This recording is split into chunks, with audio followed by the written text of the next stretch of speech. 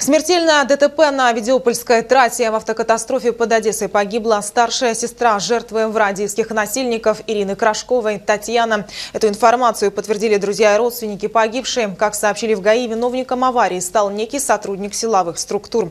Выехав на встречную полосу, он столкнулся с автомобилем Татьяны, которая возвращалась домой из Николаевского суда, где морально поддерживала сестру Ирину.